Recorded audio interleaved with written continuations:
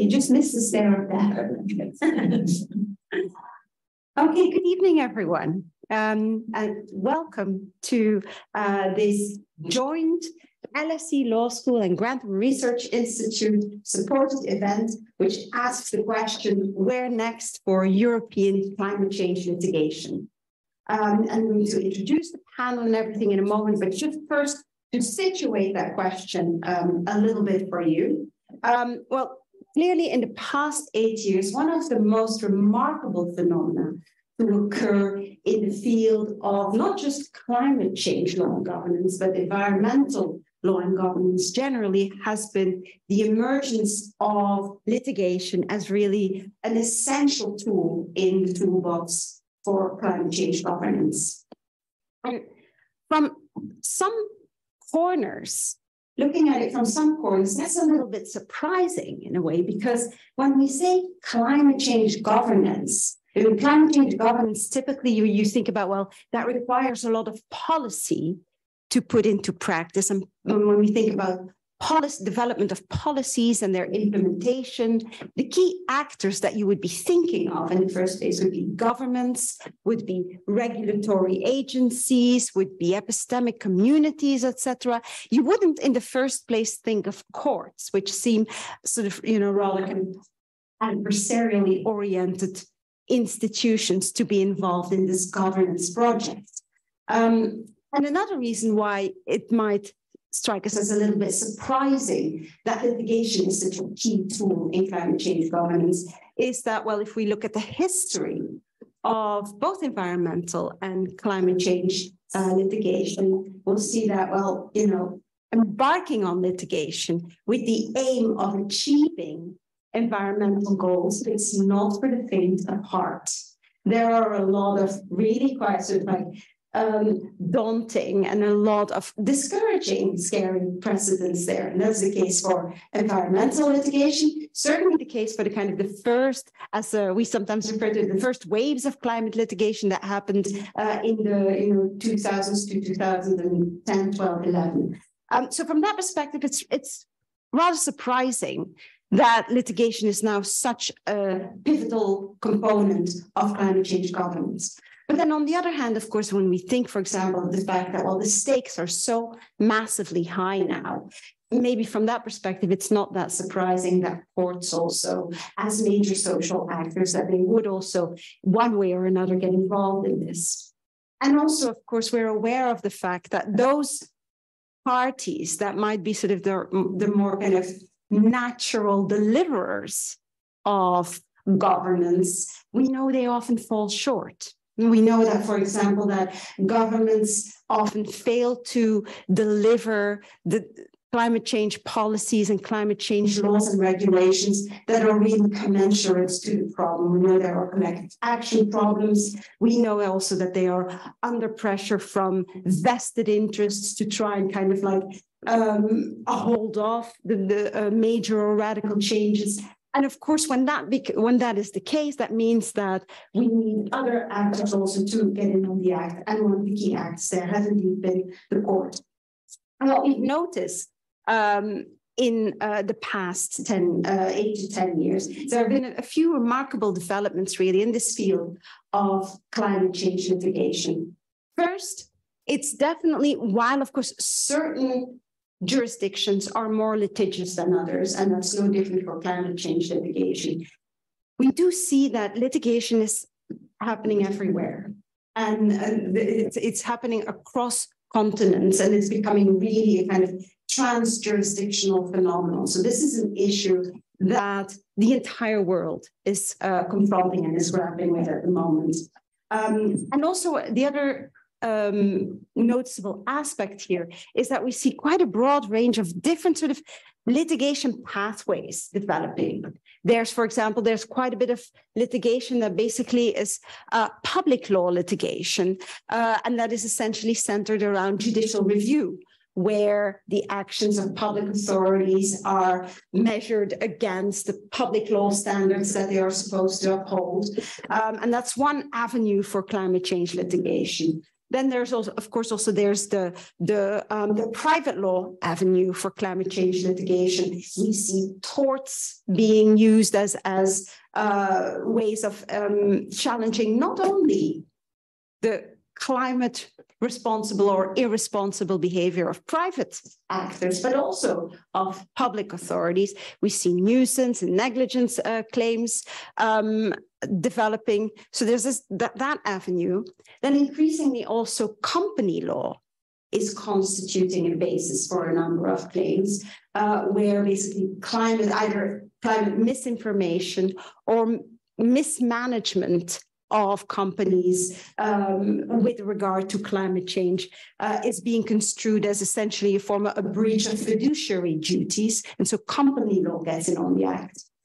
And another avenue is uh, human rights. Human rights are um, uh, also increasingly prominent in climate change litigation.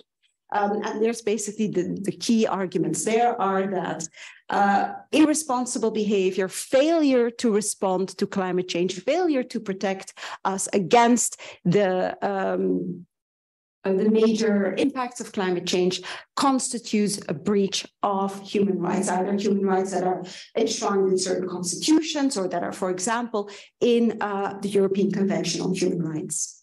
Um, now, my panel here uh, today, and both my panel that is physically uh, present and um, out there in the ether, um, they're, they are very well versed and they have deep knowledge of every single strand of these aspects of climate litigation. Uh, but what, it, what their uh, strongest area of expertise is in this latter part of the human rights, rights-based climate change litigation. That's what they're going to be uh, sharing with us. Um, uh, they're, they're, going to be sharing with us their expertise on this uh, particular topic this evening. Now, I'm going to introduce them in a second, but I first have a few sort of housekeeping uh, points to raise.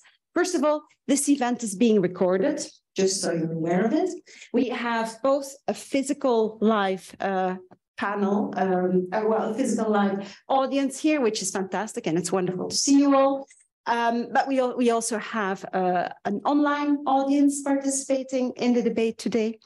Um, and then also, last but by no means least, there is a drinks reception afterwards, to which you are all uh, very warmly invited. And you know, people online are also very warmly invited, but we do appreciate that they might have to be there in spirit rather than with spirits. Um, right. And so now, finally, before we uh, enter into uh, the meat of today, I'm going to introduce, I'm going to briefly introduce the panel. Well, first, we're going to start on my left. This is Catherine Higham. Catherine is a, poly, uh, a policy fellow at the Grantham Research Institute. And Catherine is, for example, Catherine is pivotal in uh, supporting also one of the, the, the real, um, you know, one of the real milestones and one of the real kind of landmark outputs of the Grantham Research Institute, which is the, the climate change uh, laws of the world database and also for producing together with her team uh, um, very regular and extremely well informed, very up to date reports uh, on you know the state of play and all different kind of aspects of climate change litigation. And I think that's what you will be you will be presenting the, the latest iteration there, the newest report uh, in a moment.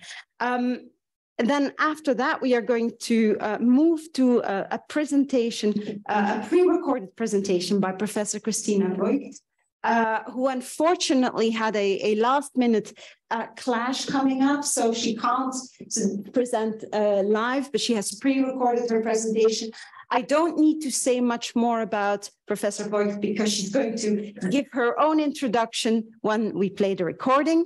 Uh, but then just to move to, on my right of me, we have uh, Marc Willers KC uh, and Margarita um, Cornaglia, uh, and both are barristers and they're both working, they're really in the thick of dealing with climate litigation uh, on the ground. Marc is instructed in uh, the KlimaSeniorinnen case and uh, Margarita is instructed in the Agostinho case. And they will, of course, they, you know, it's wonderful to have them here. And I'm sure we will uh, learn uh, an, an amazing wealth of information about what really is going on in these cases. They, are, they have all been asked to speak for uh, eight minutes, and I'm going to be a tough taskmaster. I can like this, this very high tech bit of kids here that I will be waving in front of them when uh, when they go over time. Uh, so altogether, we should have about half of the time left for a Q&A afterwards.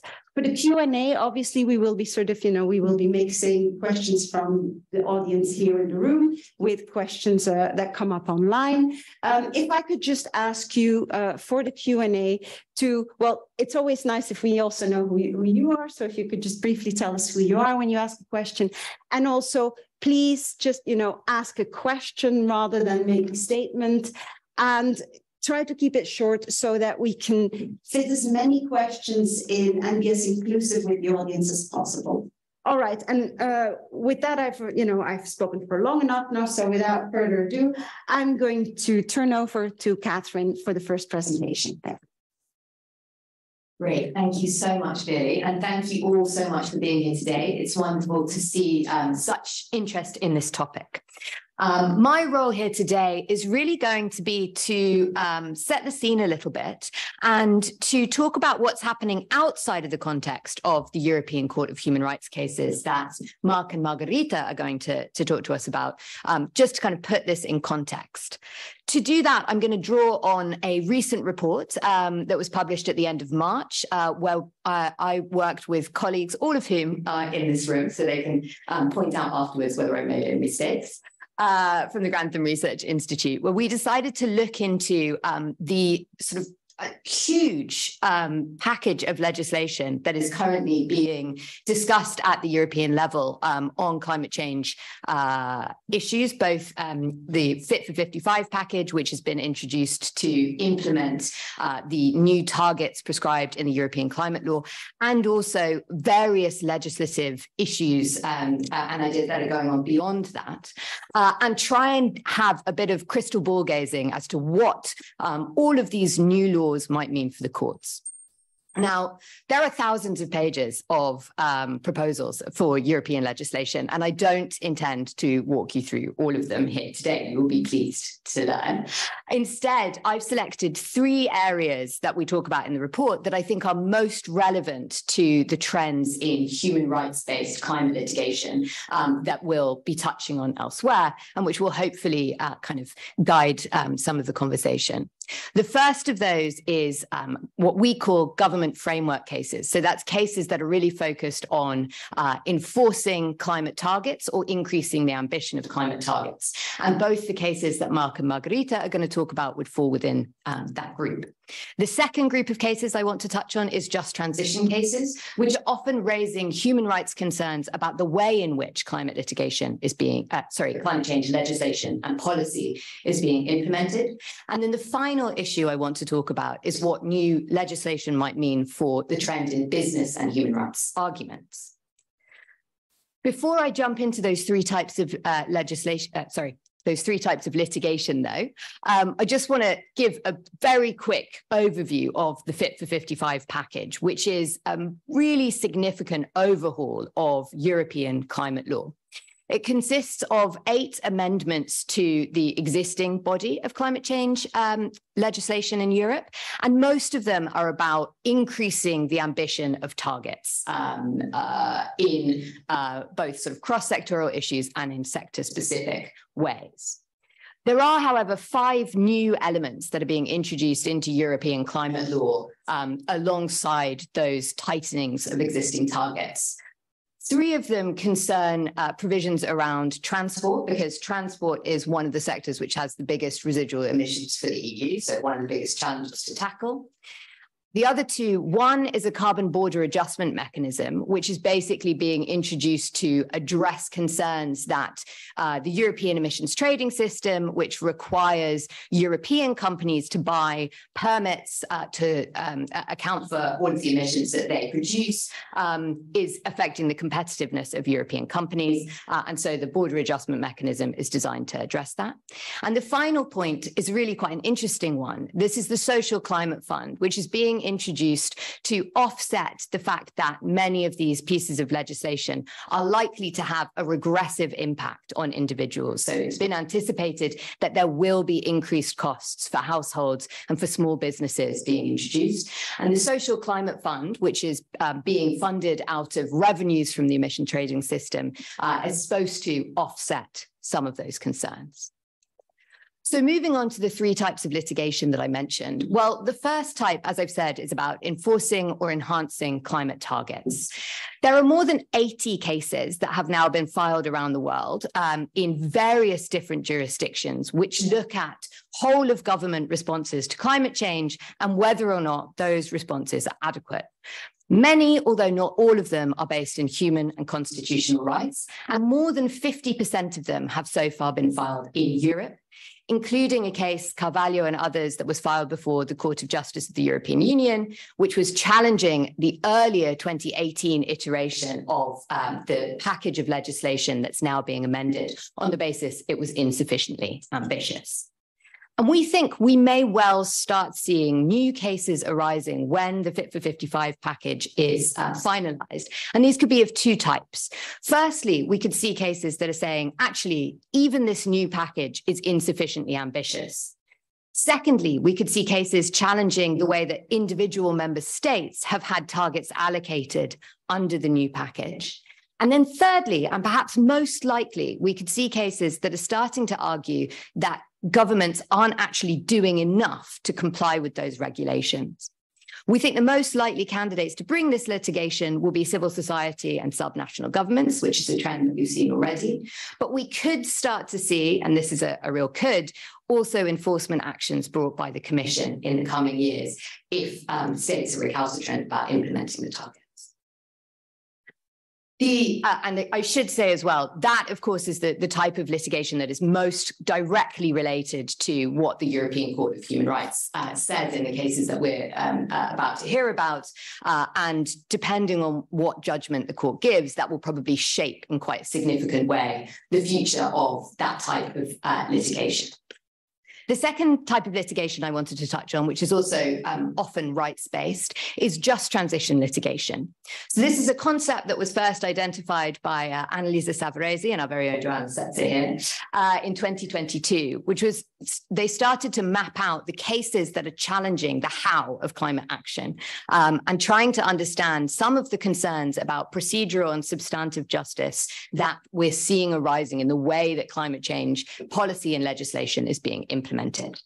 As I've already mentioned, we know that the Fit for 55 package is expected to have a regressive impact. And although the Social Climate Fund is supposed to be there to offset that, we anticipate we might see considerable litigation around the way that the funds are being dispersed and also around these social climate plans that member states are going to be required to put together to access those funds. That could be litigation that's looking at the way those social climate plans have been developed, who's been involved involved in those conversations, or it could be about actually whether or not they're fair in the distribution of the funds.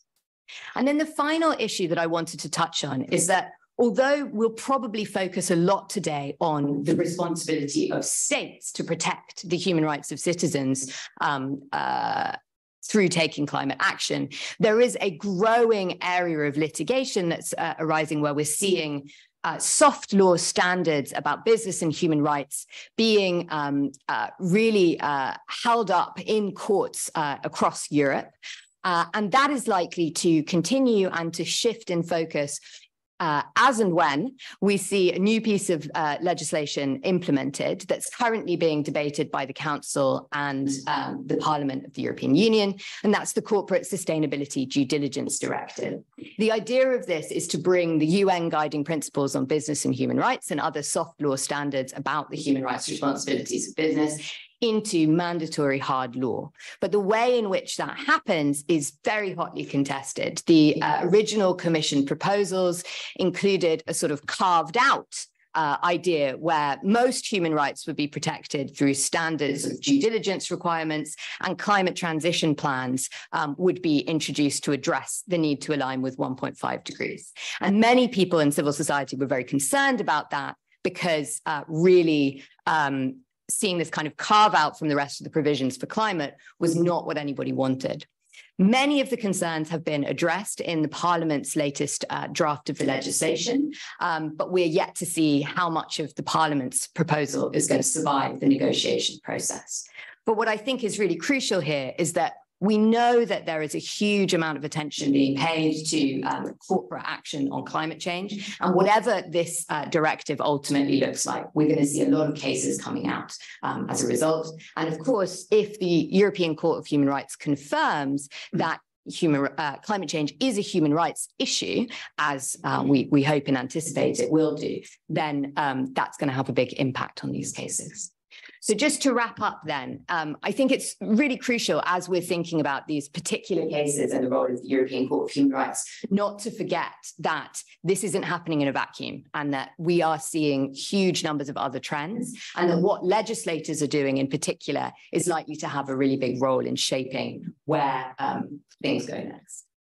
Thank you. Thank you very much, Catherine. I think now we're going to move to uh, the presentation by Christina.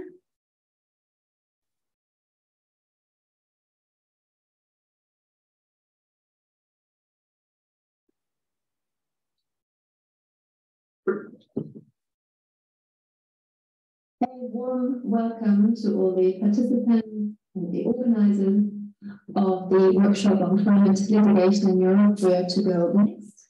And of course, also a very warm uh, hello to my uh, distinguished uh, co-panelists. My name is Christina Voigt. I'm professor of law at the University of Oslo in Norway. I'm the chair of the IUCN World Commission on Environmental Law and the co-chair of the Paris Agreement Implementation and Compliance Committee.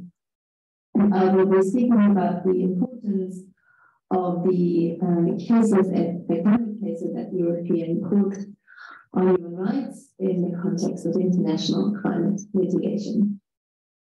As you all know, uh, climate litigation has now reached the level of supranational and international courts, and we are looking at an unprecedented number of requests advisory opinions from uh, international courts, the International Court of Justice, the International Tribunal of the Sea, the Inter-American Court on Human Rights, and the African Court on Humans and People's Rights. And many cases are currently scheduled at the European Court of Human Rights on climate change. Two of them had already their hearings, and another one will be heard in September. We also know that the UN treaty bodies have been very active in hearing complaints on climate change and rendering their views. And I can also report that as of very recently, the Paris Agreement Implementation and Compliance Committee has um, issued or has initiated its first two considerations of issues of non-compliance. And the fascinating thing is that all this currently happens pretty much at the same time as we speak, which raises a number of challenges, which I will briefly discuss here. One uh, challenge or one interesting aspect is, of course, the one of um, secrecy. Uh, which of these international courts, least on the advisory opinions, will act first, and how will the others relate to the first advisory opinion uh, rendered. Also, how will other international and regional human rights courts uh, relate to the contentious cases um, decided by the European Court on Human Rights, although the other uh, courts are involved in advisory opinions, which, as you know, are not legally binding. But of course, courts and judges who uh, are of people behind it, they, they know each other, they listen to each other, and there will, of course, be a certain sequence coming up that will also determine what other courts will uh, say and, and will decide uh, their cases or how that will uh, inform their advisory opinions. The second issue, the first one was sequence, the second one is the issue of consistency. I think we are looking at a very fascinating uh, of, of international uh, courts involved in these um, uh, opinions and contentious cases. But if you peel down everything down to the very core of the legal issues at stake, we will see that at the very heart of the issues at the European Court of Human Rights, as well as ITLOS and the ICJ, is the issue of what exactly states required to do in uh, terms of reducing greenhouse gas emissions and uh, enhancing renewables. And that will be relevant either as part of the positive obligations of states under Article 2 and 8 of the European Convention on Human Rights, for example, in order to protect the rights of those Swiss elderly, elderly ladies or Mr. Carême, uh, or the Portuguese youth and children, at the very core will be the question, what are states required to do in terms of addressing climate change? It will also be at the core of a question at ITLOS. What are states to do in order to protect and preserve the marine environment and to pre prevent, reduce, and control pollution uh, of the marine environment under Articles 192 and 194 of the United Nations Convention on the Law of the Sea, respectively, as part of their due diligence obligations. And it will be relevant in the context of the due diligence obligation under the customary norm of uh, prohibition of significant transboundary harm and harm to areas beyond national jurisdiction. So this will come up in all these different uh, cases and all these different scenarios. And it will be very important that those different courts come to a consistent conclusion and do not contradict uh, each other. And one core question in this regard will be uh, the question of how to draw upon and relate to the Paris Agreement in the context of interpreting um, other international law or uh, interpreting uh, customary international law. Here, as part, of course, of the applicable law that depends on the rules of procedure in other international courts, or as relevant in an international standard of care when it comes to determining the religions uh, standard, or in the course of interpretation, in particular, um, systemic interpretation in line with Article 31 3C of the Vienna Convention on the Law of the Treaties when it comes to taking into account any um, uh, rules of international law uh, applicable in relation between the parties. And the second question, of course, is what would the courts do if they were to draw upon the Paris Agreement? What parts of the Paris Agreement would they draw in and rely on and use in the context of interpretation of other international law? Would it just be the temperature goal? I hope not, because the Paris Agreement has much more to offer than Article 2. But even if it were the temperature goal, to hold warming well below uh, 2 degrees and take measures to 1.5 degrees, it would be important to draw in then also Article 4, paragraph 1, and the global goal of climate neutrality um, or balancing of emissions and removals uh, in the second half of this century, which would have to be interpreted in light of the most recent IPCC report. And we all know that the synthesis report of the sixth assessment report was very clear that this would mean um, reaching global net zero emissions by 2050 and global net negative emissions all the way thereafter until the end of the century. And what would be the standard of care that these courts would apply if they were to rely on the Paris Agreement. And here I think it is important to remember that the Paris Agreement itself contains a due diligence standard, which is built into the agreement, um, where in light of the temperature goal, parties need to undertake their best efforts or uh, do as well as they can. This lies in the request to parties that the NDCs will reflect the highest possible ambition. This is a quality standard of care. This could be very become very important in the context of those currently pending advisory requests and contentious cases. I think rather than expecting that the courts would be willing to determine a uh, quantified fair share it may be much more uh, appropriate to request or expect a report to uh, um, adjudicate on a qualified standard of care in line with due diligence and best efforts as it is prescribed in the Paris Agreement itself. I think courts would feel much more comfortable to request uh, of states to uh, deploy their, their best efforts. As I said, this is required under the Paris Agreement, and courts do not have to make that up, but can rely solely on, on what uh, Article 4, paragraph 3 of the agreement uh, already required states to do. Um, I think courts will most likely not go above and beyond the Paris Agreement as reflecting a global consensus on what states are required to do. But understanding the agreement, going to its, into its details, and uh, drawing upon its dynamic and flexible uh, character, also in light of most up to date science, will be a very important aspect, both in the proceedings or uh, in front of the European Court of Human Rights, as well as all the other international courts that are currently engaged in climate issues. And with that, thank you very much for your attention. All right, thank you. That went off without a hitch. That was great. Um, and so we're now going to turn to um, uh, to uh, inputs from legal practice at the goal phase. Um, and we first turn to Marc Willers.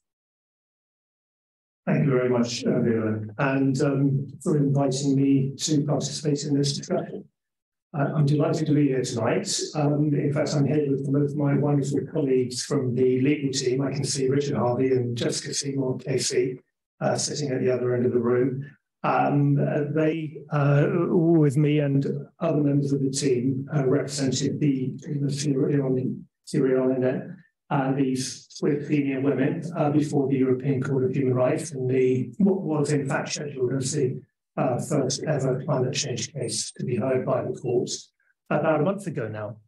And um, it's one of uh, three cases that have been listed this year uh, before the European Court of Human Rights. Another one was the case of Carême against France, which was heard in the afternoon after the case that uh, we put before the courts been heard in the morning. And the third case was the Duarte Agostinho case, and I'm not going to steal Margarita's thunder because she's going to tell you all about that case.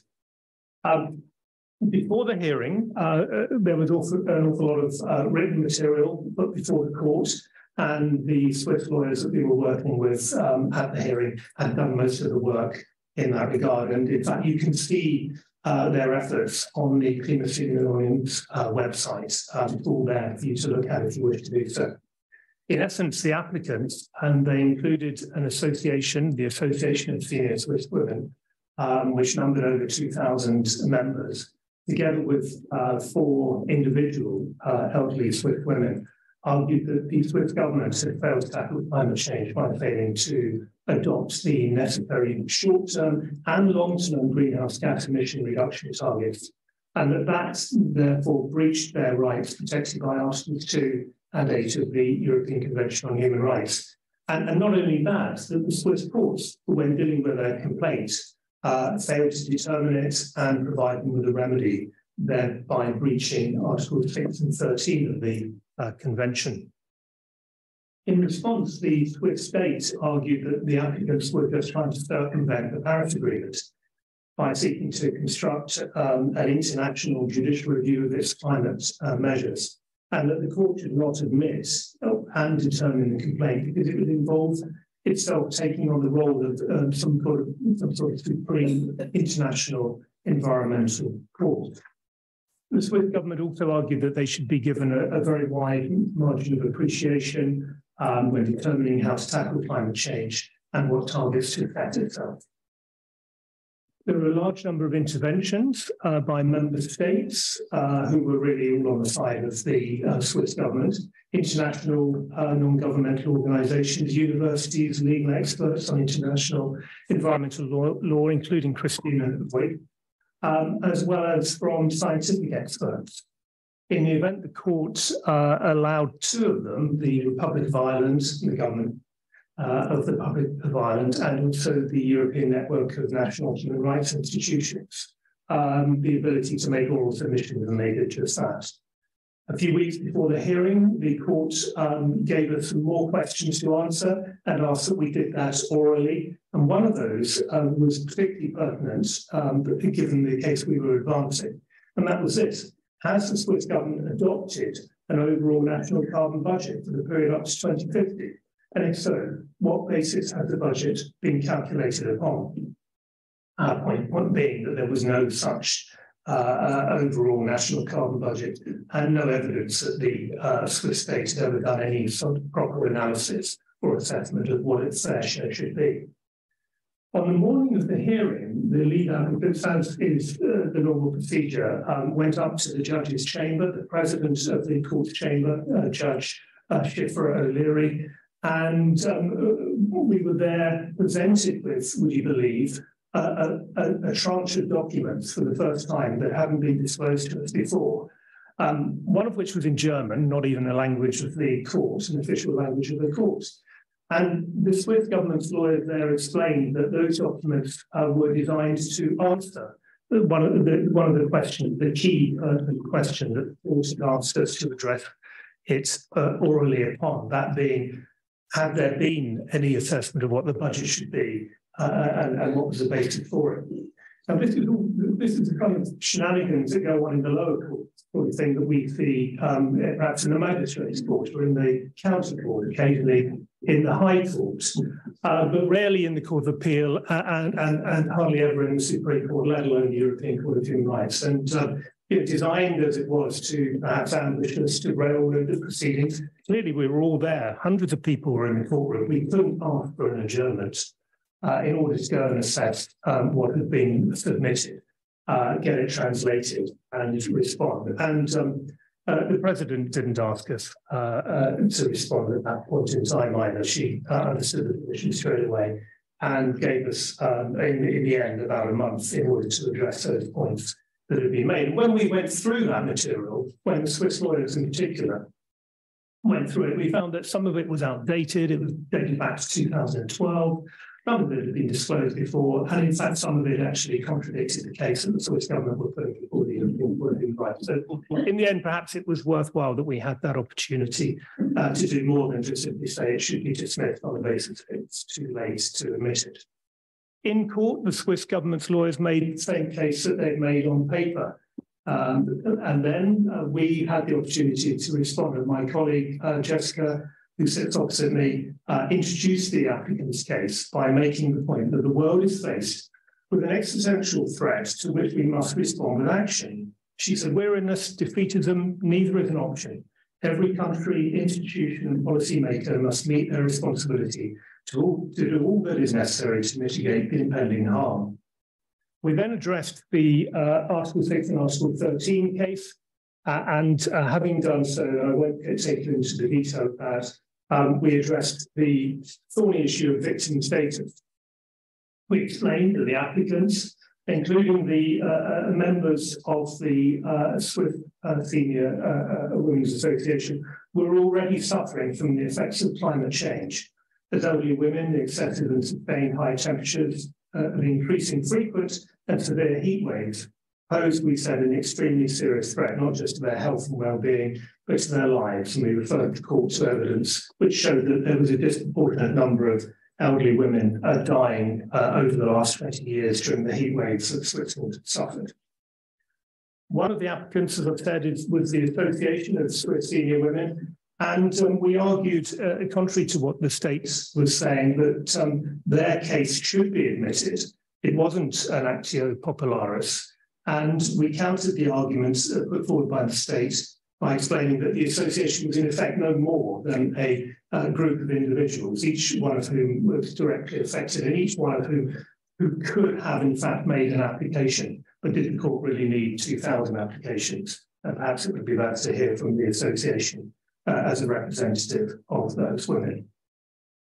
We, we pointed to and relied upon the decision of the Dutch Supreme Court in the Urgenda case and, and um, the findings that it had made uh, and argued that the court should follow that court's lead and hold that Switzerland was under a positive obligation uh, to take the necessary steps to guarantee effective protection for the applicants' lives, health, and well-being. Um, we, we made the point that when one looks at the evidence, um, and we relied upon the climate action tracker and a report uh, from um, Professor Rajamani and others, um, it was quite clear that Switzerland uh, uh, had not done what was necessary uh, in terms of adopting a legislative and administrative framework to achieve uh, the objective of preventing global temperature increases of more than 1.5 degrees above the pre-industrial levels. Um, we made the point again, um, it, uh, and, and, really was the answer to the, the, the, the court's primary question that the Switzerland had not carried out any studies or due diligence the point that was being made by Christina in her presentation in relation to the 1.5 degree limit identified by the IPCC. And um, we also described the fact that the Swiss government was uh, using up uh, excessive carbon and, uh, an excessive proportion of its of the global carbon budget, the remaining global carbon budget, as carbon theft. Uh, we identified exactly what we suggested the uh, Swiss government should be doing in terms of meeting goals uh, up to 2030 and 2050, and uh, concluded by saying that if a country is rich and technologically advanced, as Switzerland cannot do its fair share, indeed does not even take the trouble to assess what its fair share should be, what hope is there that other countries will step up to the challenge we face? And there were then, I, I should say, questions from the court, a number of questions. Uh, there were 17 judges, uh, and many of them asked us questions. We were sent out for 30 minutes. Uh, Jessica uh, uh, uh, answered all those questions brilliantly when we came back into court, and then it was over, and judgment has been reserved. Um, I can tell you more about what happened after the hearing. We had a great event with all the uh, inspirational uh, clients we represented, a very moving event, uh, but I may not have time to do just that. We're going to pick up on the journey. Thank you very much. Absolutely fascinating. And Margarita, um, is that similar to your experience in the Agostinho case, or were there different aspects that you would highlight? Well, the main difference is that we still haven't had a hearing. um, um, but again, thank you, thank you very much for having me and asking me to say a few words about Duarte. I was asked to speak briefly about the issues in the Agostinho case and to then zoom into the Article 13 discrimination arguments. And that's, I realized, quite a big task. Um, so uh, what I hope to do is to first give you a broad overview of the case, but focusing on what I think are three really important and key arguments involved in it. And then um, I will then try to zoom into Article 14 and then I'm happy to answer questions uh, that arise from that. Um, so starting with the overview of legal arguments. So the starting point for the claim is, is really the science of climate change as set out into, in the IPCC report, which is now widely accepted and recognized by courts uh, uh, and states and, and, and institutions, the applicants rely on the IPCC's findings to build three key submissions. Now, the first is that climate change is indisputably a man-made phenomenon, such that its inception and continuation are caused by human behavior. Climate change is already having a number of physical impacts that are likely to increase and worsen over time on current trajectories. Second, what is causing those impacts is the failure of states to act compatibly with the 1.5 long-term temperature goal uh, set out by the IPCC. The applicants argue that these physical impacts combined with the respondent state's failure to act in line with the 1.5 goal are and will continue to affect ever more severely their human rights, particularly by reason of their young age. The third broad argument that the applicants make is a predominantly legal one, and it is, and it's namely that the European Court of Human Rights is needed to safeguard, safeguard the applicant rights. And that is because domestic courts grappling with climate cases have not ruled in a manner which is consistent with keeping global temperatures aligned with 1.5, and thus in a manner capable of safeguarding the applicant's rights. Turning to to each of those, so the first is physical impacts. I had jotted down sections of the IPCC and the applicant's evidence around how these impacts of climate change are impacting them, uh, but I don't have time to read those out. And so I won't say much about physical impacts. The short story is that the applicants rely predominantly uh, on the impacts of extreme heat and wildfires on their health, both physical and mental health, and on their well-being. So they, they describe impacts going from uh, inability to spend time outdoors, uh, impacts on sleeping, impacts on uh, asthma, to very severe traumatic impacts tied to experiencing wildfires close to them. Um, and they also rely on the scientific evidence that says that absence decisive uh, action, these impacts risk getting much, much worse over time and importantly, during the course of the applicant's lifetime. That's the first key basis of the applicant's argument, so the impacts of climate change. The second focuses on what states are or aren't doing about this. What the applicants argue is that the reason why uh, they are suffering impacts is because states are failing to regulate and limit emissions compatibly with a global 1.5 temperature goal. They therefore argue that there's a duty upon states to regulate and limit emissions compatibly with 1.5 in order to safeguard their human rights. The applicants then focus on a number of acts and emissions, four in particular, that the respondent states are responsible for, which they say are inconsistent with the 1.5 global goal and therefore amount to different aspects of a breach of human rights. The first of these is permitting the release of greenhouse gases within the state's national territories and offshore areas. The second is permitting the extraction of fossil fuels within their territory. The third is permitting the import of goods, the production of which involves release of greenhouse gases in the atmosphere. And finally, the fourth is, fourth is permitting entities within their jurisdiction to contribute to the release of these gases overseas through the extra extraction of fossil fuels or by financing some such extraction. Now, the, the applicants argue that these acts and emissions have led to the climate change impacts they are suffering now. And they also argue that these acts and emissions are continuing to date. They rely on evidence that Mark has already cited the climate action tracker, the UNEP emissions gap report, which shows that we're so far off track, uh, the 1.5 uh, pathways aligned with the 1.5 goal. And so the applicants say that as a result of that, uh, uh, of these acts and emissions, the impacts that the applicants are experiencing today are most likely to continue getting worse and worse, and so cause increasingly severe violations of their human rights. Finally, the third and key argument that the applicants make is that the European Court of Human Rights must intervene to protect their rights. And this argument is based on the contention that there are no effective domestic remedies. And I'd like to give you two different examples to make this point. The first is, a, is uh, of a domestic judgment uh, that looks at the relevance of the Paris Agreement to uh, human rights. And the second is uh, of two domestic judgments that look at the relevance of the way in which states set emissions reductions targets to human rights obligations. So the first is Pan Earth and Prime Minister, Uh, uh, uh, and the Prime Minister and others, and that's C, uh, the reference in the case is CA 2021-003448.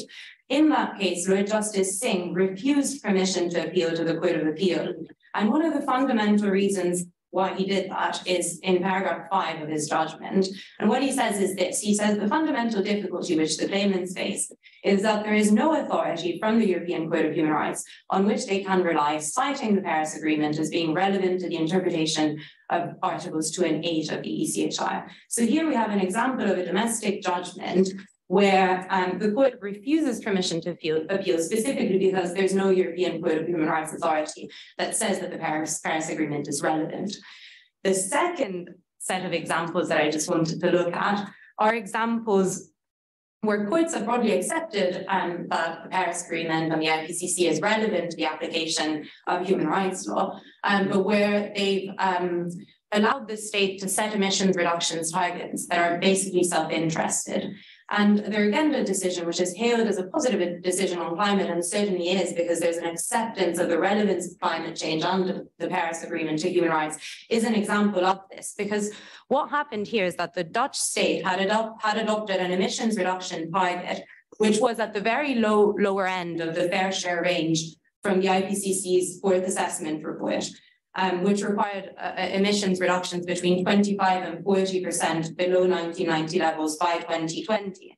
And the Dutch Supreme Court held that the necessity for judicial deference to the political organs of the state in this area meant that it could do no more than adopt the lowest end of the figure in this range, that is the 25% figure, as a measure of compliance. And the German Federal Constitutional Court did something similar in Neubauer when it accepted uh, that Germany could set uh, emissions reductions targets on an equal per capita measure. Now, if every state simply chose to pursue emissions reductions consistent with the less stringent end of their fair share ranges, it's just not possible to achieve a global long-term temperature goals of 1.5 degrees. And this reflects the fact recognized by working group three of the IPCC that effective mitigation of climate change will not be achieved if each country acts independently in its own interest.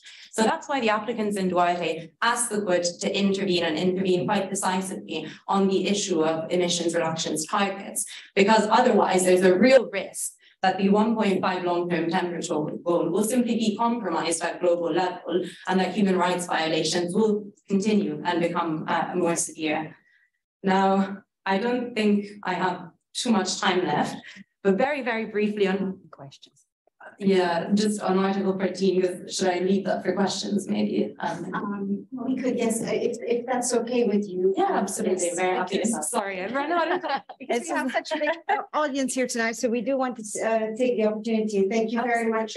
Uh, thank you very much for your willingness to do that, because I'm sure everyone has lots of questions. So with that, we're going to um, open up to questions. So I'm going to take uh, three questions from the live audience, and then uh, maybe we'll have look at questions uh, that are asked online.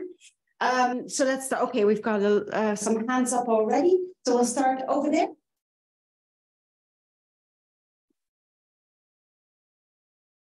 I don't know. Do we actually need a roving mic, or or maybe because it's being recorded? Yes, yes. Okay. sorry, you have yes.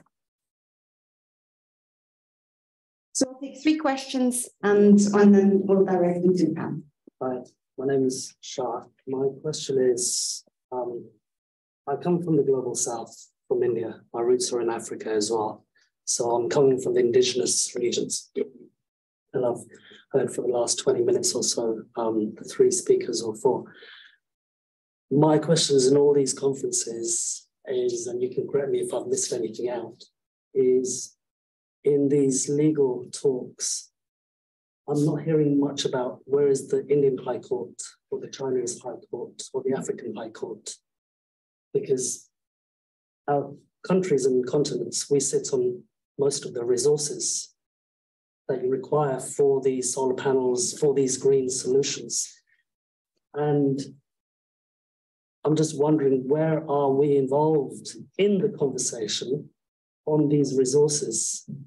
Because India is obviously valued because it's under the English legal system. So it'd be very highly valued as a court system. And then you've got the Chinese, you've got the African, you've got some Asian systems as well. Um, and in terms of human rights, 2019 was when the United Nations took a look at. Excuse me, I understand, but yeah. remember we did say questions, not speeches. Yeah, sorry, my question is where is the global south where 99% of the resources are held? Where are we included in the conversation? Because if we were, I think you'd have a much different, broader picture. Okay, thank you.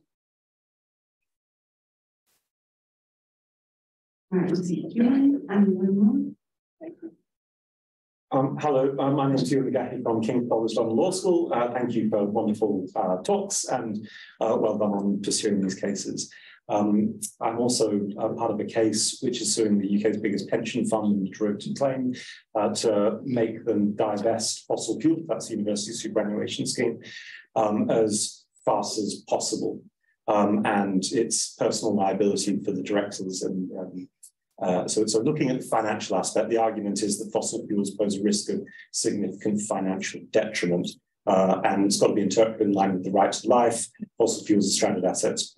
Um, so that means that they've got to divest now. Uh, the question is, uh, Christina Voigt uh, suggested uh, that um, the net zero by 2050 in the Paris Agreement was not only something that we had to comply with, it's also a, a sort of um, uh, maximum. So, so she said, I, I, don't know if you picked up on that. She said that uh, there shouldn't be any less done, uh, or sorry, sorry, any any more done than uh, net zero by 2050, uh, which is kind of a problem if you think that your claimants uh, are suffering harm and they're suffering a violation of their right to life, and therefore you want the harm to stop now. It wouldn't be to stop it by 2050, it would be to protect the right to life now. And I'm just wondering, uh, and, and, perhaps I could add this, the Paris Agreement could be seen as, you know, get to net zeros, keep below two degrees or 1.5 degree ambition. It could also be seen as a license for the fossil fuel companies to keep polluting up to two degrees of climate damage or up to 1.5 degrees. So it's, my question is, do, do your submissions uh, also encourage courts to go faster and perhaps as fast as technology allows? Thank you. And then we'll have one final one from the floor if there is one to ask. Or... Ah, okay, great. Thanks. Hi, I'm Sonam. I'm an uh, academic in environmental law. Uh, my question is for Margarita um, and about the third ground that you discussed in relation to the Duarte case, which I think is fascinating because you get into questions then of the extent to which the European Court is willing to engage in a dialogue with domestic courts on quite a big scale. And I wonder if you've encountered or in, in your work in the lead up to the hearing, how you've worked around what could potentially be a really sticky or challenging issue for the, for the court to navigate. Thank you very much. So we'll, we'll kick off with those questions. And if I can just direct, um, maybe um, Catherine and, and maybe Joanna, you want to come in as well and just give a little bit of information of what is happening, uh, whether and how we're looking at involving the Global South in the discussion. Yeah, absolutely. And I think that is a really important um, point to raise. I suppose with this event, we um, were specifically interested in looking at um, what's happening in the European context because there is a lot happening in the European Court of Human Rights. Um, it's something that has generated a lot of interest. But in the broader work that we do at the Grantham Research Institute and here at LSE, we are looking extensively at the work that's being done uh, by courts in the Global South. And there are some amazing and really groundbreaking judgments that have come out of courts in the Global South in recent years. One of the first cases to um, discuss human rights implications of climate change came from the Supreme, uh, actually it was the High Court at the time. Uh, the judge has now moved to the Supreme Court. The High Court of Pakistan was in a case um, of Asghar Leghari um, uh, and the state of Pakistan. And it was a case that was brought by um, a, a, guy who owns a farm, he also had a law degree, uh, and he was arguing that although Pakistan had a uh, adaptation plan, a national plan that said it should be responding to the impacts of climate change, uh, it had um, failed to implement that plan. And the, the judge gave this really scathing judgment, one that has been cited in courts around the world um, ever since. Uh, and, and so it's really significant, I think, in the, the story that we're telling here um, uh, about what's happening um, kind of here in Europe. We're also seeing a lot of uh, progress and really interesting, innovative legal arguments being made in countries in Latin America at the moment, many of them related to the right to a healthy environment uh, and the obligations that states have under domestic constitutions. So, the constitutions that people in those countries have agreed to for themselves rather than international human rights standards um, that uh, and those cases, we're seeing some, some good judgments about the need to protect the right to a healthy environment uh, and the need for more action, and in particular for the protection of um, resources um, uh, and, and forests and, natural resources in those countries.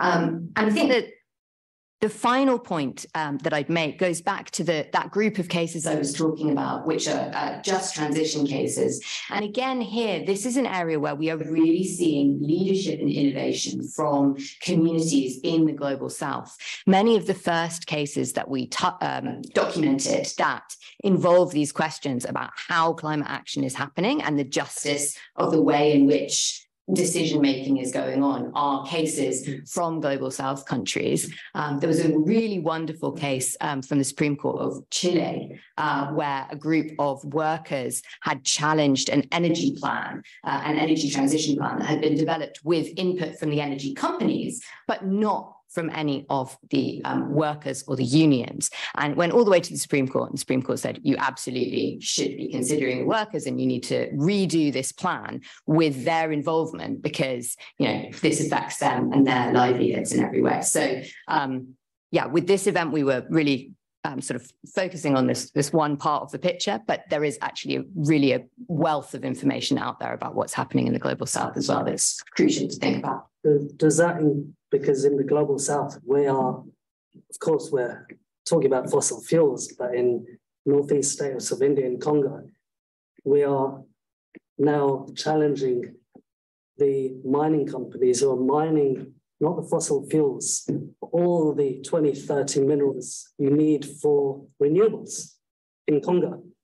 So when you've got 200,000 people in a mine, I'm like, okay, well, where is this green transition taking us? It's, yeah. it's taking us into a hellhole. Well, I mean, that is a really crucial issue. And we are starting to see these cases coming up on lithium mining, on cobalt mining. Mm-hmm. Um, uh, yeah, like maybe another maybe another event that we should hold just on just on these just transition cases. Thank you. I think yes. Thank you. I think Marc, Marc, you would also like to.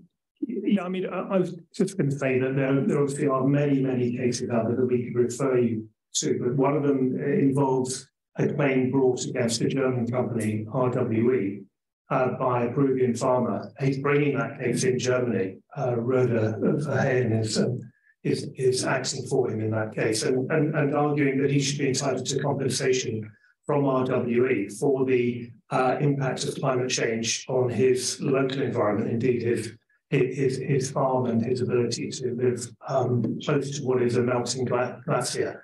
And so that's an innovative case, and uh, no doubt there'll be more of those kind of cases. And then there are cases brought uh, against states like the UK, for example, for funding uh, fossil fuel development. Indeed, Jessica uh, Simor um, it, it is currently taking a case, hopefully to the Supreme Court, on onto that issue where the UK is, is putting funds into uh, fossil fuel production in the global south. And so it's good to tackle the, you know, go for the money, as it were, um, in order to ensure that these uh, uh this kind of production doesn't take place. But then there has to be some alternative provided for the uh, for, for, for, those that live in uh, that state and others. And then there are brilliant cases like the Leghari case, but also the uh, case brought by an organization called Future Generations in Colombia. They took the case all the way to the Supreme Court, arguing that um, the state should uh, protect the Amazon region in, in Colombia. And they succeeded. And the um, the court, in fact, uh, ordered that there should be a plan for the uh, regeneration of the Amazon uh, region in that country, um, to which the Future Generation uh, uh Association should be uh, um, party. And so they were, in effect, given the remedy of, of helping to redesign or, or, or, replan how that part of the Amazon should be regenerated. So there's a, you know, there, there's no doubt we could have a we could have a couple of days, I think, going through um, some of the work being done, brilliant work being done by colleagues in the global south, and perhaps you know that's something we should be doing. Thank you very much, Um, all right, let's move on to the second question. Yes, I mean, uh, pointed out, well, you know, international law, like the Paris Agreement, is a part of international law, and because of that, of course, it's a, you know a creature of compromise rather than of unbridled ambition, right? So uh, is that going to, is that going to, are the goals in the Paris Agreement going to function as a ceiling in this kind of um, human rights, in, in human rights litigation? Or is there scope for human rights litigation to actually sort of burst through that ceiling, to go beyond that ceiling? I don't know who wants to.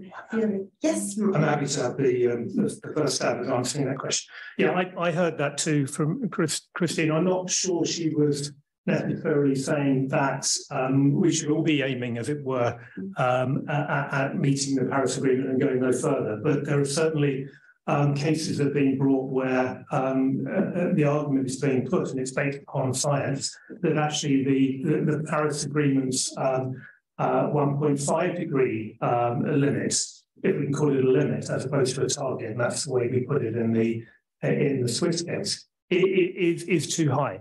And really, we should be looking at maybe one degree. Um, the, the OCT, our children's, yeah, or zero.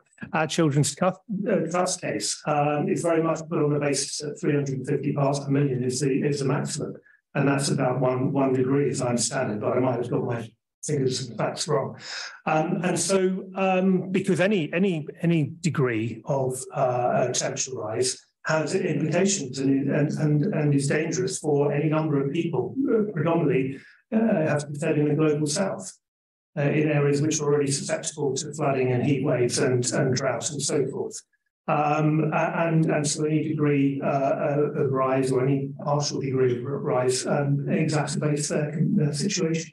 So I, I, think that we should definitely be thinking in terms of um, uh, exceeding the, the Paris Agreement, which after all was a political construct, uh, and, and we know that the evidence, the scientific evidence is changing all the time. And, and you know, and, and indeed the, the targets or the limits are being um, up down as a consequence of the ever uh, increasing amount of scientific evidence that we have.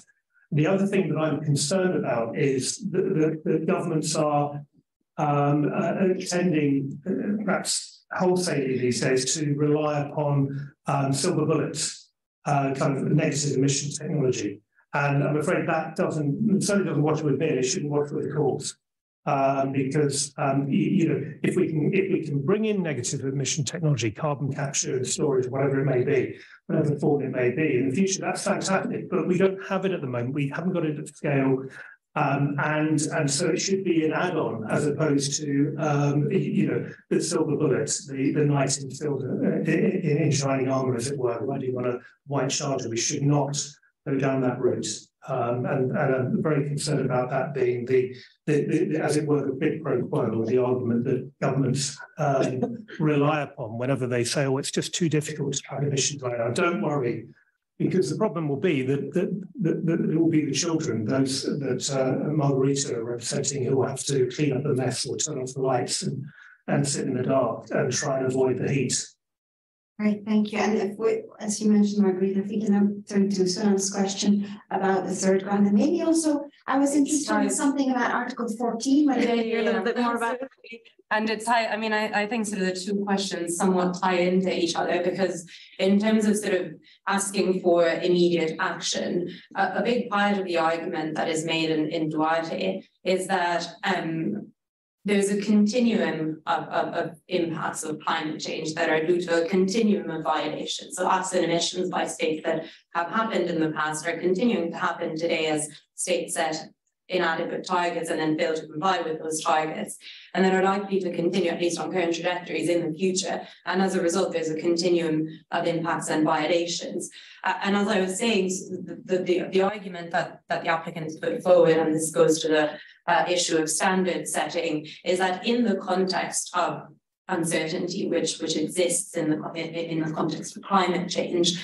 Um, the effectiveness principle as well as the no harm and precautionary principles in international law require, require any any ambiguity surrounding how to define a state's share to be resolved in favor in favor of the applicants. And so what the applicants say is we need um, the only way in which realistically there can be a, a, proper adequate protection of human rights today, but also in future, is if states today uh, adopt more stringent fair share uh, measures.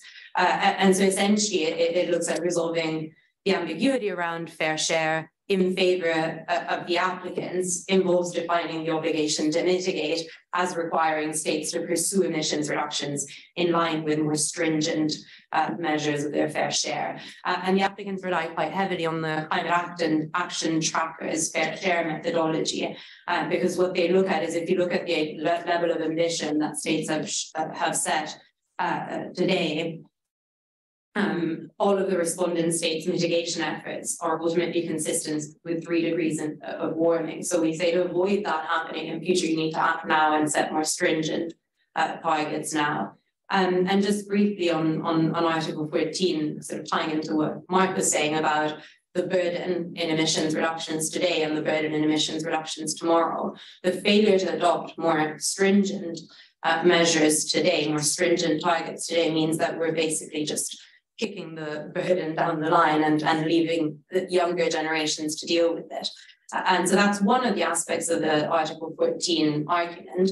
The other, the other aspect is that young people are generally more vulnerable because they are at early stages of psychological and cognitive development. So the impacts that are being suffered today are being suffered more severely, even leaving aside the, the issue of future risks uh, and future impacts increasing and becoming more severe. Today, the impacts that, that, that, that the young people and children applicants are facing are already more severe by reason of their young age. Um, and, and we rely in particular on expert evidence of mental health impacts as well in, in that respect. So thank you. Thank you very much for that. Um, I saw, I saw Q&A that we have uh, 10 notifications there. So we'll go to that in just a sec. I just wanted to add one little thing about uh, the whole Paris Agreement as a ceiling issue. I do think, well, I think that when Christina was talking about that, she was talking from the perspective of the compliance committee of the, uh, because she is also uh, on the compliance committee uh, for the Paris Agreement. And from that perspective, you can see how it's difficult to challenge a, a party with not, not complying with the Paris Agreement when they're actually meeting the targets of the Paris Agreement. So within that context, it would be hard to expect, it would be difficult to expect a kind of, you know, an, an over performance.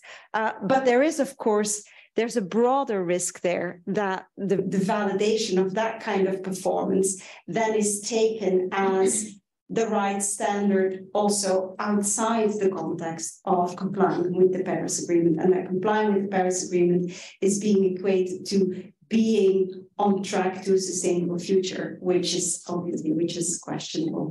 Um, all right, shall we? Uh, there's a few questions that we can take from um, online community. Yes, um, so we have three that uh, just sort of align with the in-person audience. Um, so our first question is from Janine Hasler in Zurich. And she would be interested to know if our panelists see a ripple effect of the KlimaSeniorinnen case on climate change litigation cases against communities. Uh-huh, all right. And then our second question is from uh, Valerie. And she is wondering uh, if any of our panelists foresee that the pattern followed so far by climate litigation will be followed by biodiversity related litigation and if there would be any significant differences between climate and biodiversity litigation. Mm-hmm. And then our final question um, is from uh, Ramina Alexieva uh, from Bulgaria. And uh, her question is, what control and monitoring mechanisms do you think should be in place for climate litigation to be more effective? All right, those are all fantastic questions. Our online community is on fire tonight. Um, right, uh, who would like to tackle the ripple effect? Margaret? Yeah, well, it's on it's on the Swiss case in particular, so perhaps I'll leave it to Marc. I think the question was, like, do we foresee a ripple effect and, and also will, will that have an impact on cases against companies? But is that right? Yeah. I, I, think there will be a ripple effect, um, uh, probably a general ripple effect. So it will have an impact on cases uh, that might be brought against companies, against um, directors, for example. Um, Ewan was talking about such a case. Um, and we know that ClientEarth are involved in a, I think, bringing litigation against the board of directors um, of a particular company um, at this point in time. So there are there are a number of those cases brewing, as it were. And um, one of the one of the points about the Swiss Women's case was that it was really important that we um, created a campaign around the case in order to ensure that um, uh, you know the, the widest possible uh, um, uh, number of people got to hear about what the case uh, was uh, about and, and the arguments that were being put forward by the uh, uh, the women, um, what impacts climate change was having upon them, and how you could tackle those impacts at um, the grassroots level, whether it be in the council chamber or at the local county courts, or, or influencing politicians, perhaps, you know, maybe at the elections or in Switzerland, for example, um, in, in the course of a referendum. And also then if, if, if in the event that the political arguments fail, um, cases can be brought before the domestic courts and then ultimately uh, up to the European Court of Human Rights. So it's it, you know galvanizing um, not just the Swiss population, but also the population of all those across Europe and indeed further afield um, uh, into the global south. All those um, uh, uh, who are able to understand, you know, simple but um, effective arguments put forward on behalf of the um, the applicants in that case, um, we're bound to have a, a will cause ripple effect. And you know, we can see that because there are a, a considerable number of cases now um, that are, before the European Court of Human Rights. We have the Agostinho case coming up soon, which you know broadens the scope of the argument um, and covers 33 member states. And the louder the message and the, and the, and the stronger the message uh, going out to um, the population of Europe and beyond, um, that we need to tackle climate change urgently, um, the better. And the more likely it is that cases will be brought uh, not just against states, not just against fossil fuel companies, uh, but against their directors too.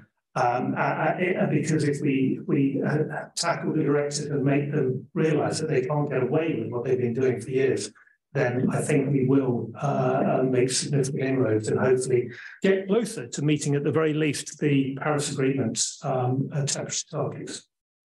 I have a quick point on this. Um, just because um, one of the um, breaches that the applicants rely on in Duarte is um, a state, uh, so, so states permitting entities within their jurisdiction to contribute to the release of greenhouse gases overseas.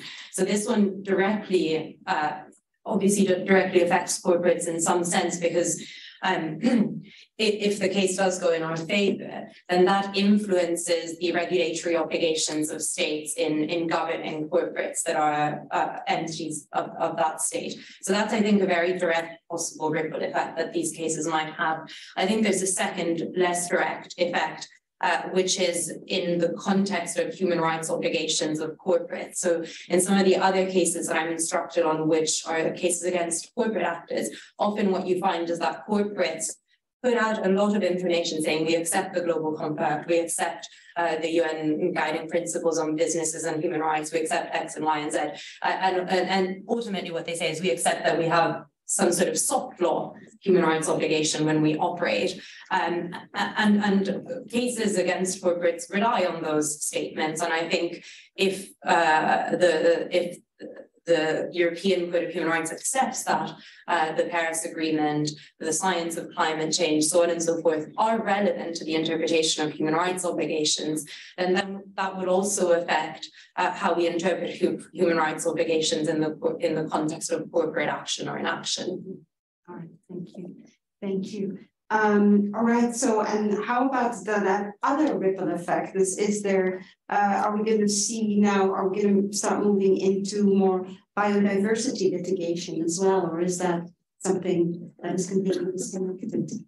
So this is, I think, a, a fascinating issue. Um, and when I first heard this question about will biodiversity cases follow the pathway of climate change cases, my immediate thought was, well, we already have loads of biodiversity cases in environmental law. Much of environmental law is designed around the protection of specific species, specific area, and all of these are really, really important uh, biodiversity cases. So that is the first point to, to kind of note. I think the second thing, though, is that we will probably start to see some of the more um, uh, sort of innovative aspects of climate change uh, litigation manifesting in biodiversity litigation, which is interesting because in the case of climate, really much of the litigation has been there to try and uh, address gaps where there isn't a climate specific piece of legislation that requires a duty bearer to do something, but there are other areas of law that can be um, in, engaged to say, well, this person has responsibilities to do X and Y. And, you know, if we look along the causal chain, we can see that that entails a responsibility to act on climate change. And I think we will start to see more and more of those kinds of cases coming into the biodiversity uh, space, that we'll see more cases seeking to connect human rights and biodiversity, which is already happening uh, in a lot of cases, and particularly in Latin America. And we'll also see many of these arguments that Marc was just talking about, about the responsibilities that companies, directors have um, to take these factors into account um, coming to the fore. So there, I think there will be a kind of a lot of exchange. I think we're also going to see more cases that bring biodiversity issues squarely into climate change cases. There's an interesting case that's just been filed in Finland, which is looking at um, Finland's compliance with its own climate change legislation. And basically, the Finnish climate targets rely on Finland's forests providing pretty extensive carbon sink. But actually, the science is saying that in the last year, those forests turned from a sink to a source of greenhouse gas emissions. So they can't now be relied on to offset emissions from burning fossil fuels and all the other activities that we're doing. And I think that's an issue where we're going to see these two areas really kind of coming together uh, as well. Yes, yes, Marc. Yeah, I was just going to say that there's a case I'm instructed on at the moment where we're bringing a judicial review against the UK government for failing to tackle sewage in our rivers and our seas. And um, one of the things I noticed or um, began to understand um, uh, as I was reading into the, the science, and the science is developing, but the, the, as we pollute our rivers, but then our seas, we kill off our seas, and we we we turn our seas from being a carbon sink into a carbon source. And, and um, so quite apart from the biodiversity uh, uh, within the, uh, the, marine biodiversity, we're, we're, we're storing up yet more trouble for ourselves by failing to tackle the sewage and pollution that goes into our, uh, our rivers and seas, not, not, not, not to mention the forever chemicals and, and, and other stuff that we seem to be quite happy to pump into them. So the, the case I'm uh, involved in, um, we've got permission to bring a, a JR claim against the government for um, its sewage reduction plan, um, which you may have read about in the papers.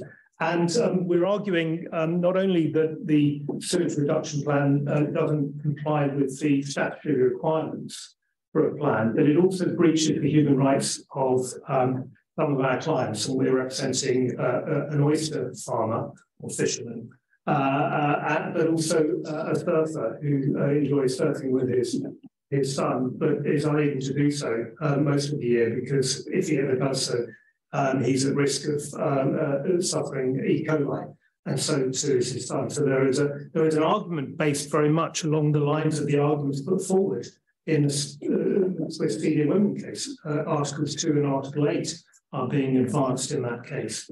And then on top of that, uh, we have permission to argue that the government is breaching um, an age-old uh, doctrine, the public trust doctrine, um, by failing to tackle um, the source of the sewage uh, pollution um, and allowing our rivers and seas to be polluted.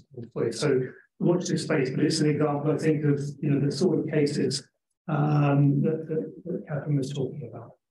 Thank you. Thank you. I'm very short point up on the, on this. Um, there's a publication, a book called Human Rights on the Planet, which was uh, published, I think, last year. Uh, yeah, last last year, and and within it, at the start, there's an interview with uh, Judge Spano, and I think that is very interesting because he's he's obviously talking about the cases before the European Court of Human Rights, and uh, what he says is that there's no real need um, for the court to radically change settled principles and that our understanding of human rights is, is some somehow premised on, on the understanding that uh, we need a healthy environment to enjoy those those human rights.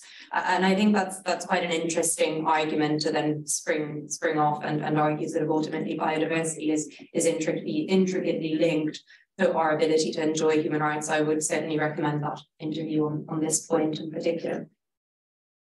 Thank you. I'm actually, I want to get a check on the that third question. And I also want to see before we start tackling that, if there's anything more in the audience. Um, okay, uh, but was control and monitoring mechanisms to put in place in order to make climate change litigation more effective or legislation more effective? Litigation, okay. Uh, right, so control and monitoring measures, can there be any sort of measures put in place to make litigation more effective? But before we answer that, I still, because there was a question uh, in, in the audience as well, which I still want to pick up on. This is going to be our final round, unfortunately. Hi, my name is Laura. Uh, thank you so much. This was so interesting. Um, I was wondering, um, Professor Voigt mentioned this uh, in, in her talk, uh, the current happenings on the international level with advisory opinions. And maybe this question goes more to Marc and Margarita. Um, what are your thoughts on, I don't know, maybe this won't even impact your cases, um, but I, I thought a lot about what is, how, this will interact with, with the European Court of Human Rights and, and maybe also in your personal opinion, from a strategic point of view, do you think it makes more sense to, to bring a, a claim, a case based on individuals, um, or to do what has been done and try, try to get kind of a broader narrative of, of, of an, an advisory opinion? Um, Okay, thank you. And there was one more I want to pick up on just, uh, if you can please brief and then.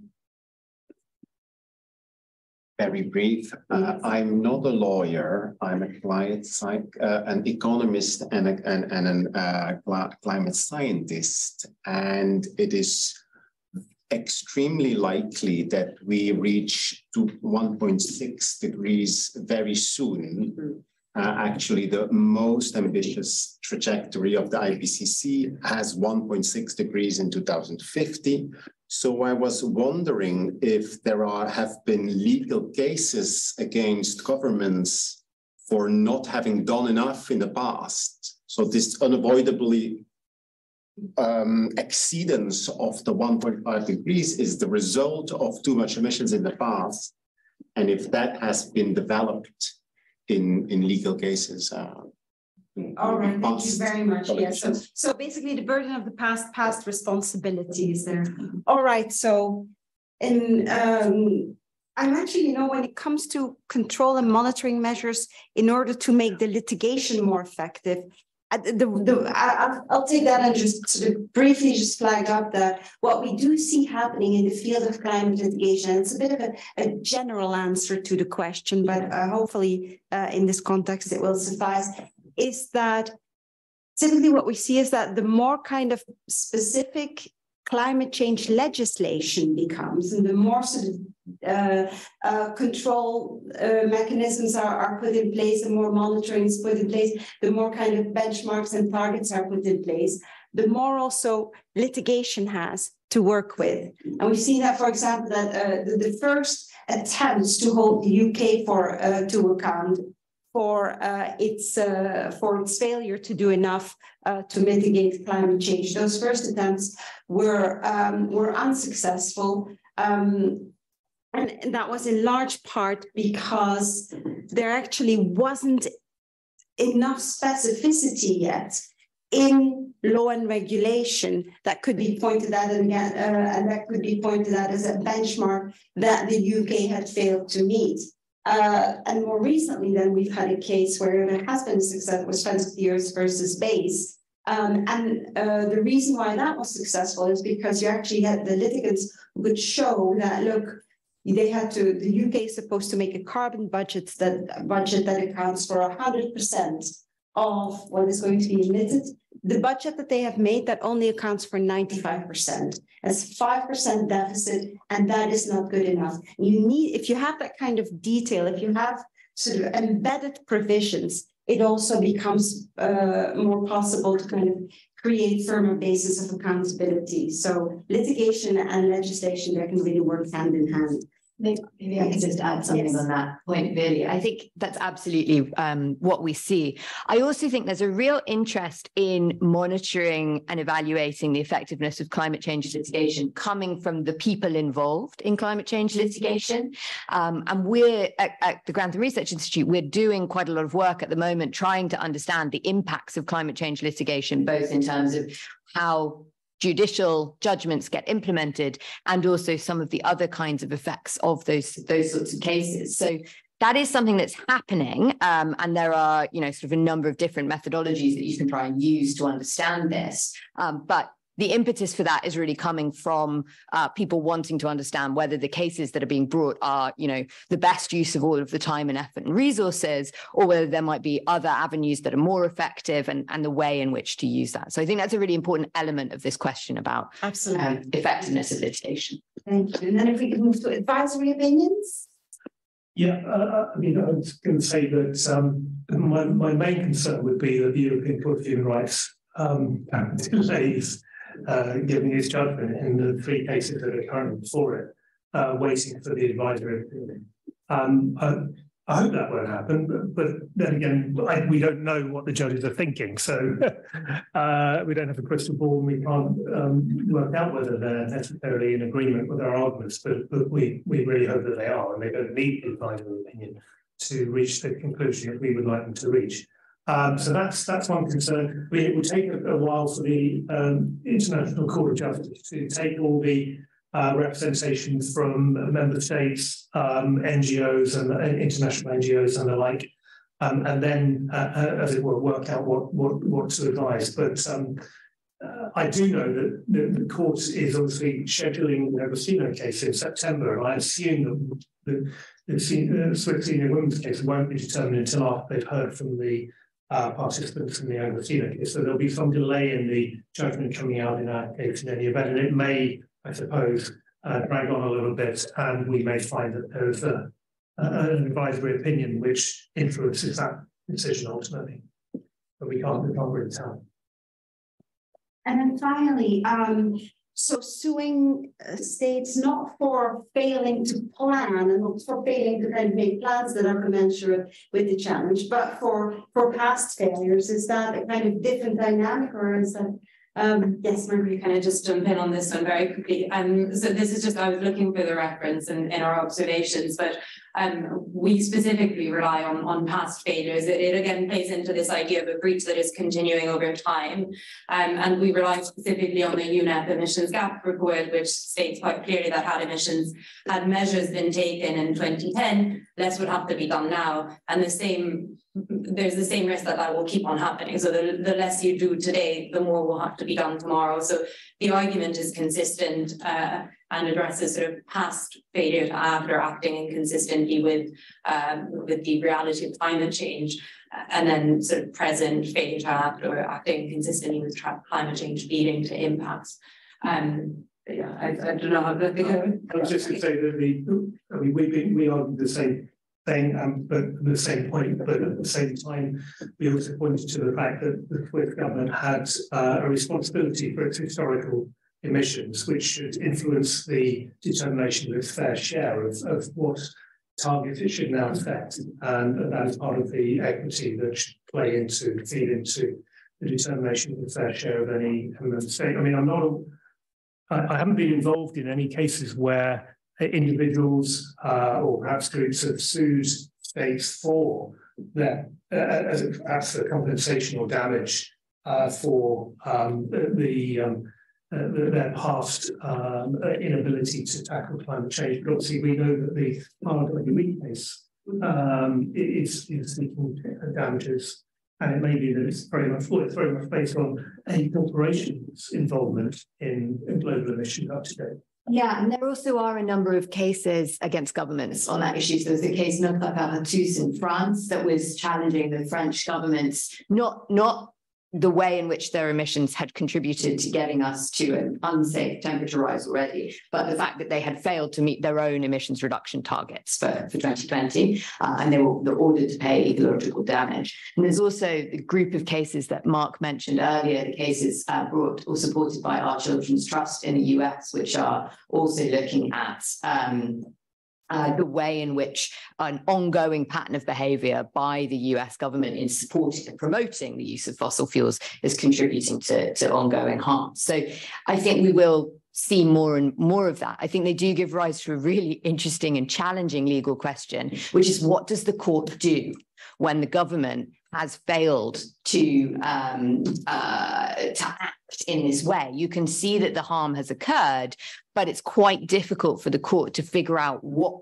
the order they give is to resolve the issue. So in the case of the um, in the French case, you know, they could order the the uh, government to correct the um, failure to reduce emissions by reducing emissions more rapidly now. But as we run out of time to do that, or we run out of these windows, there's this kind of ongoing debate and question like what what does the court say if the government has contributed to these past harms, other than they have to stop it as soon as they can?